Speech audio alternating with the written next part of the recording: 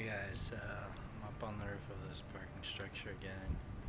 Today is supposed to be the, uh, the first day of the air show, and um, yesterday was just practice, so today should be the real deal.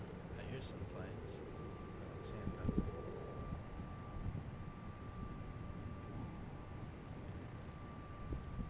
I guess I'll walk over to where I was yesterday.